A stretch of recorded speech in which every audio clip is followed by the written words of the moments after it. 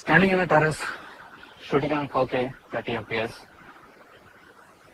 with Rode Wireless Go audio. So I'm going to upload to YouTube, download, re-upload, thousand one times because MKBHD done it for thousand times. So that's the part. So let's see how the YouTube algorithm, video compression, all those things work, works out in 2021. Peace.